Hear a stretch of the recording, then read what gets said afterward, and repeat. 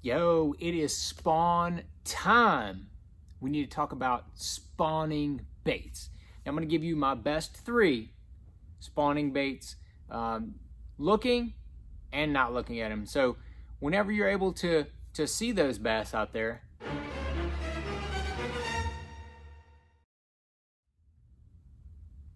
and then you say, "Ooh, I need to throw something on them." Uh, those fish that you can visually see, got my top three there. And then when you're not, when the fish are spawning, but you're not looking at them, like you got dirty water, low light conditions, something like that, I'm gonna give you the top three for not looking at them, spawning baits. All right, so now I want to start with not looking at them. We're gonna just, let's just say early in the morning, you're not looking at them, but you know the fish are spawning or you're fishing in an area uh, where the water's a little dirty or, or, deep or something like that and you can't see, physically see the fish spawning. Uh, I got my top three and these are all gonna be soft plastics heavy. This is just, man, the spawn is soft plastics season. That is uh, just, there's no way around it. I mean, it's, it's power, it's power pole season right here power pole season because you're gonna be power if you're in your boat you're gonna be power poling down whenever you see those fish or you get in those spawning areas and you really need to pick them apart but it's also soft plastic season uh, i'm gonna start with the old wacky worm uh, this is a, a missile baits 48 rigged wacky style just harpooned right in the middle as you can see uh, i usually fish this on a spinning rod something like a 10 pound 12 pound leader you're going to be just skipping it around the bank anywhere that looks like a fish may be spawning. Now, where do they spawn? They spawn in the protected pockets, protected areas, behind docks, things like that. Uh, some of the last dock poles closest to the banks for, for docks. Uh, anywhere that, that water is protected, where they're not going to have a lot of wave action, not going to have a lot of wind action. Uh, you know, northern banks, southern banks, it doesn't matter. If they can find them prime habitat, that's where they're going to be.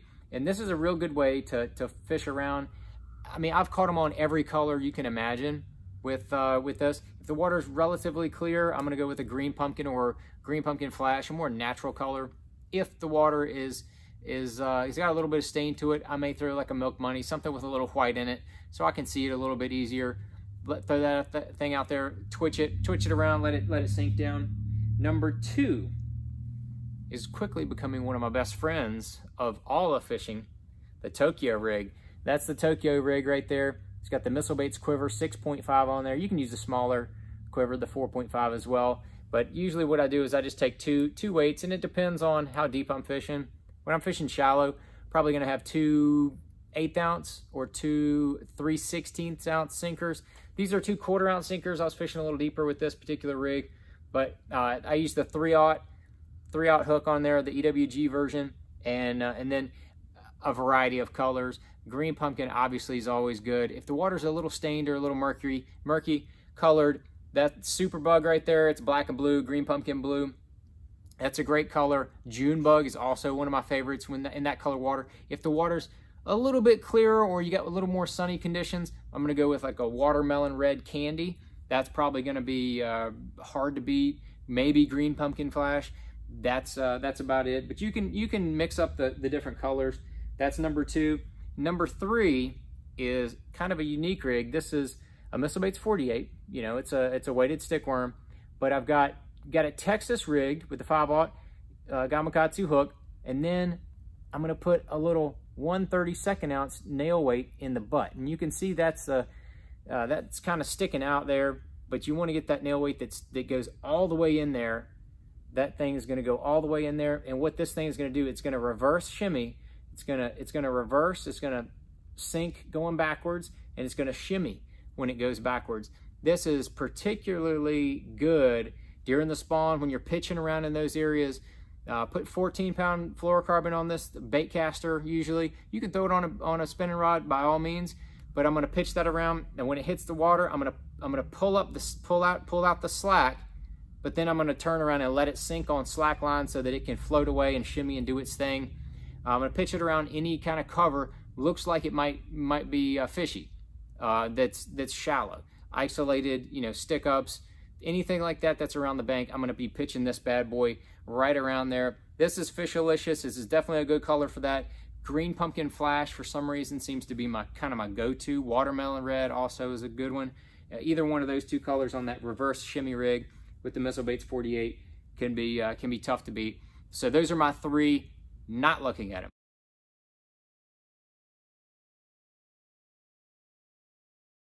All right, now let's get to when we can actually see those fish. This is not gonna be a tutorial on how to catch them. This is just gonna be the top three baits on how to, how to use them. Uh, and what I do when, I, when I'm looking at spawning fish, I hit them with a, a one, two, three punch. I'm gonna have a small, a medium, and a large bait. Those, those that's kind of how I, how I go. Depending on the size of the fish, most of the time I'll start with the medium. And my medium bait of choice is a Missile Baits Baby D-Bomb. As you can see, it's not a very big bait. And I put a 3-aught Gamakatsu straight shank hook in it. That, that hook in there, in that bait, I mean, it's almost all hook. So when that when that fish sucks that bait in, he's gonna have most of the hook in there. I put it on a quarter or a 5 16 ounce sinker. You know, this is a bait caster rig, 20 pound um, sunline fluorocarbon is usually what I use. And I'm gonna be pitching that around uh, right into the bed, around in the bed, try to get that fish to, uh, to actually uh, get defensive and eat, eat the bait. Color's not, not a big deal here. A lot of times I'll use just natural colors and I'm, I'm watching the fish and learning the reaction. I don't think that a, a bright color is, is necessary. I think they'll, a lot of times they'll eat the, they'll eat this color uh, quicker, a natural color. A brighter color can be good at times, but I'm going to pitch that bait in there. And uh, if I think the fish may have, may have eaten it, rather than setting the hook really quick and getting yourself in trouble by foul hooking them, I'm going to reel up my slack and then watch and feel. And if that fish has got it, a lot of times he'll pick it up and be moving it off the bed. You can see your line moving. You can you can feel it in your rod. And, and when you do, set the hook, good to go. Missile baits, baby D-bomb, probably number one choice. That's the medium size. Now, there could be fish that don't really show much interest in the medium sized bait. Um, you know, they almost ignore it, so to speak. And when that happens, when they ignore the bait, I'm gonna go large with them. This is the Missile Baits Destroyer. Green Pumpkin Flash, far and away my number one color there. It's actually the number one selling color in, in the Destroyer out of all the colors. But you can see it's got uh, twin appendage tails on it, a huge ribbed body. I put a big 5-aught Gamakatsu straight shank hook in that bad boy. I usually put that on 25 pound Sunline shooter fluorocarbon. You know, you can just absolutely crack into them when they when they bite it. Uh, and I'm gonna have, as a weight on the front of there, I'm gonna have th a 3 eighths most of the time. I'll go up to a half, half ounce. Sometimes I've found that that heavier weight can actually trigger fish. I don't know if it's something about the speed of the fall or the bait that that weight, you know, hitting the bottom, to scratching along the bottom. Sometimes that can that can definitely trigger them, but that is uh, my bait of choice. I've caught so many big ones on this bait right here. I mean, just fours and fives and sixes and up that like you like you wouldn't believe on on this bait, especially when they ignore that medium size bait. Uh, I, I pitch this bad boy in there, and man, it's something about that bigger size with all that all that action and uh, and undulation, they just they just go crazy. So let's say I throw the medium, they ignore it. I throw the large in there, and they spook. And they spook. They back off. They don't like it. Then I go back to the small. And for my small option, I'll go with the drop shot. Yes, a drop shot. 10 pound leader. Put a Sunline Sniper 10 pound leader. And usually I'll put this Gamakatsu number one EWG hook on there and I'll Texas rig it like that. Because a lot of times you're you're going to be, you know, around some cover, you know, near cover. Uh, you, most bass don't spawn just in open water uh, on flats with no cover. So I'm going to put that little uh, that little hook in there. And this is a goby bite color. It's a good little minnow color. It's a really good place to start when uh, when I'm pitching around in there. And a lot of times what happens is, uh, you know, I'll end up going through a couple different colors. I might throw Pinkalicious or go with the more of a bait fish like Fishalicious. And then Green Pumpkin Flash is definitely one of my other uh, other options. But between between the, basically kind of the, these four colors, usually you'll settle into something for that particular day. Day to day might be different. Uh, some bass might react a little better with the pink, some of them more with the green pumpkin flash. It just kind of depends on their mood. And uh, and I'm going to pitch that bait in there. I'm going to kind of maybe back off if I can. Uh, you know, you want to fish for those visual sight fish as far away as you as you can. I'm going to throw that drop shot in there. I'm going to get the get that bait right in there, and I'm going to just leave it and kind of let it sit. I'm not going to do a lot of action to it. I'm just going to kind of leave it and let it sit. And that little teeny, that little teeny bomb shot just kind of sitting there uh, can can really really do the trick sometimes. A lot of times those fish that spook with that bigger bait, they'll spook out. You'll pitch your pitch your little drop shot in there, reel it up in there, you know, and that little bomb shot just sitting there. Then all of a sudden you'll see the fish slowly start to work back into the bed, slowly start to work back into the bed. And once they get back to the bed, they see that little thing in there. They're not intimidated by it, and they'll just swim over to it, eat it. And a lot of times they'll just they'll just eat it and sit there. Sometimes they'll eat it and then and then swim back off of the bed. But a lot of times they'll just they'll just eat it.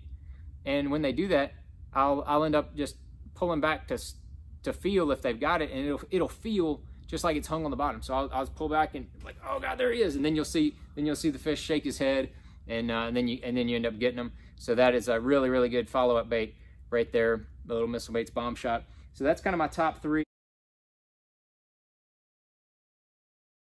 You know, just outside of my top three is Missile Baits Baby Destroyer. I, I, I, keep that on the deck as well, that Baby Destroyer. I'll pitch it around, you know, as I'm visually sight fishing. I might just pitch it around along with the uh, along with the Tokyo rig with that quiver on it. One of those two is probably going to be what I'm going to be pitching around. And occasionally I'll pitch this on a bedfish, but I really like the Baby D-Bomb better. It, I just have, I've caught so many fish on that baby D-bomb. I know they will eat it. I know they like it. If they're in that territorial mood, they do not like that little thing. I, I guess it looks like a little uh, brim down there poking around in their bed and they, they are not having any parts of it. So those are my top three. If you have any other questions, any other questions or comments for, uh, for bed fishing, baits, mainly the baits, we'll do tutorial later probably on how to catch one off the bed if you've never done that before. But uh, be sure to comment down there below. Let me know uh, what your, I want to hear what your uh, number one, number two, number three bed fishing baits are as well. I'm guessing they're going to be mostly soft plastics. Hope you enjoyed that and be sure to check out some of the other videos. Thanks for watching.